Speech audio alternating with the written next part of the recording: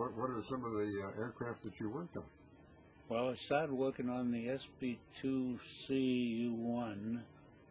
I did a lot of work on the OS2U1 and the SO2U1. And um, then I worked on the F4U5. And then they, um, to develop some flat flaps and spoiler controls, they had bought a um, Fairchild F-24, which they could modify.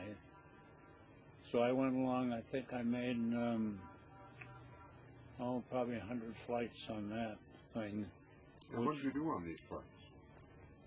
Well, uh, Baker and I, for well, um, see if I can explain it. The the XOS2U1 was an airplane designed for a carrier, so it had to fit onto the elevator, which made it a very short coupled airplane.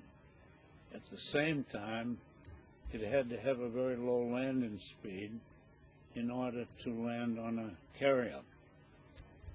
The result of that was that they had to have some huge flaps on the thing, and they used for the first time what are called slotted flaps. And that gave them the lift to get to the low speed, but the control problems were very difficult and bad. And um, among other things, the downwash from these high lift flaps with a short coupled airplane was so great that the calculations in the wind tunnel stuff indicated that the horizontal tail in certain circumstances could stall. And that meant that the airplane would flip over. Well, we didn't know. We knew it would flip over and go into a dive of some sort. And that was all recognized in the design stage. And again, what was that uh, aircraft?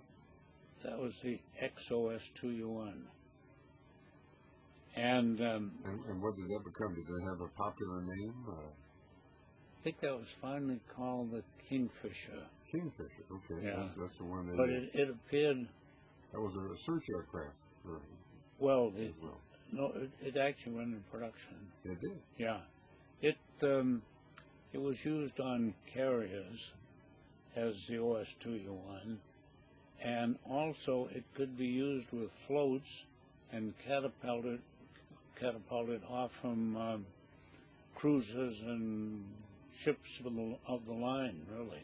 So it was uh, they used it as a search plane as well to go out there and uh, and see who was out there ahead of them. Yeah, it actually was. It um, it actually was used in the Battle of Midway, among other things. So it was a it was a pretty good observation scout Mm-hmm. airplane. But at any rate, it had theoretically it had the potential for stalling the horizontal tail.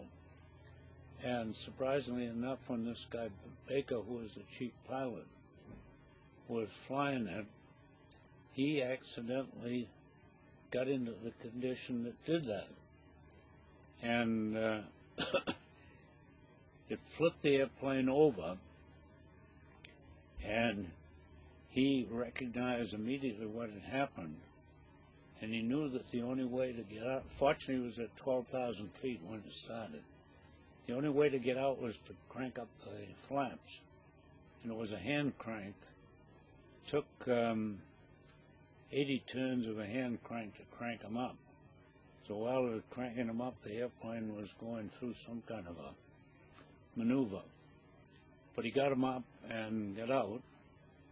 And um, then we spent months trying to figure out how to cure the airplane of this particular problem.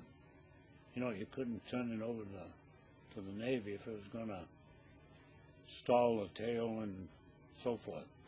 Turned out that the maneuver we did a, what they call a step-by-step integration, calculation.